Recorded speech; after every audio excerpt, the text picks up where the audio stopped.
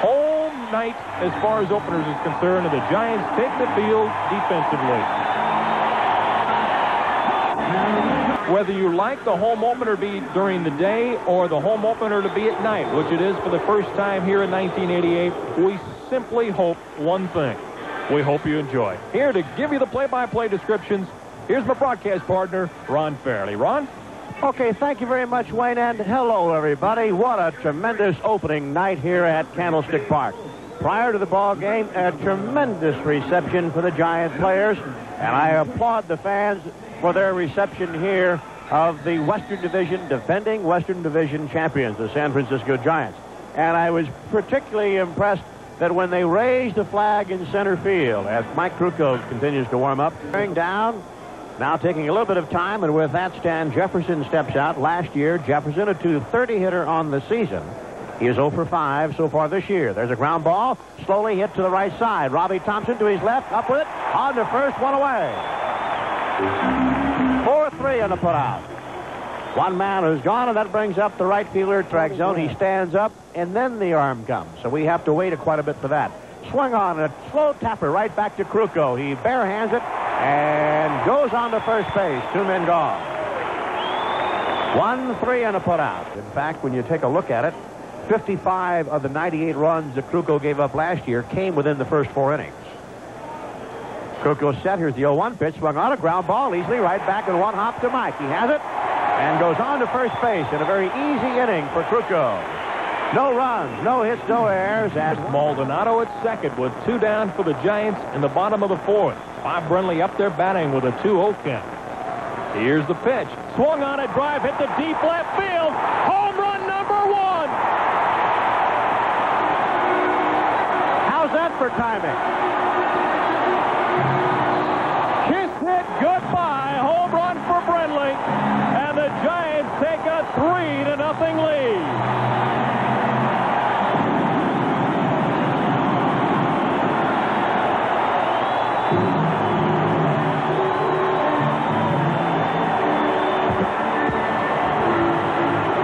Bradley, hit the last home run of the regular season, hits the first one this year. And that's your Giants replay.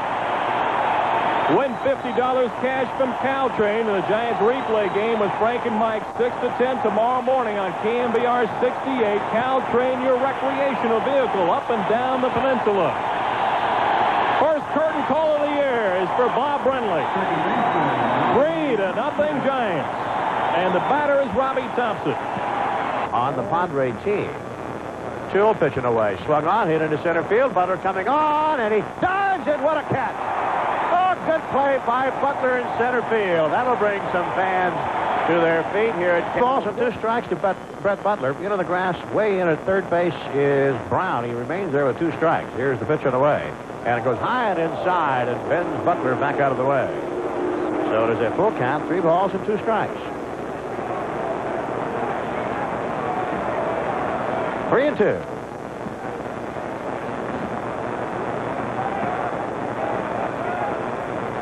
Naldi again, ready, and the 3-2 pitch pitching away. Swung on, hit well to right field. Going back is Gwynn. See you later.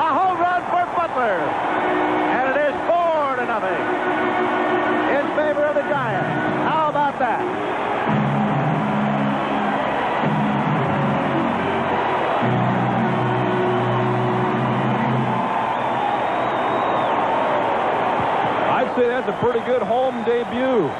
Well, he started the season going three for five in the game that Valenzuela started. And had a big two RBI triple in that game. And here in front of the Candlestick fans for the first time, he homers direct. Pitch, swing the ground ball to third. Mitchell has it, throws a second for one. Relay to first, double play. Robbie Thompson, the pitch swung on a ground ball back up the middle, base hit center field. Mitchell around third, he will score easily. Five to nothing Giants.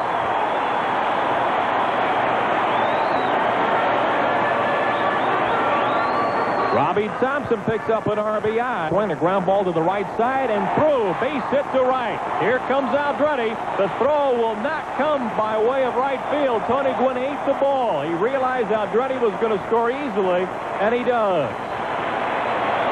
A 6 to 1 Giants lead. Again, Hammaker ready. The 3-1 pitch swung on to second base. Robbie Thompson gloves to Jose. Back to Clark. Holy cow! Another double play and the game is over. Robbie Thompson just made another fabulous play. And the defense tonight has been perfect. The Giants win it by a score of 6 to 1. We'll be back with the totals in just a moment.